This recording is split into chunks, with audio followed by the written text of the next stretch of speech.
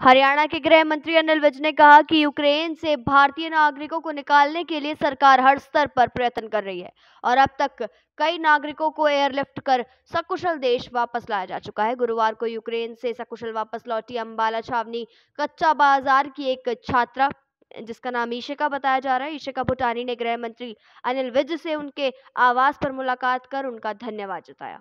अम्बाला से अंकुर कपूर की रिपोर्ट।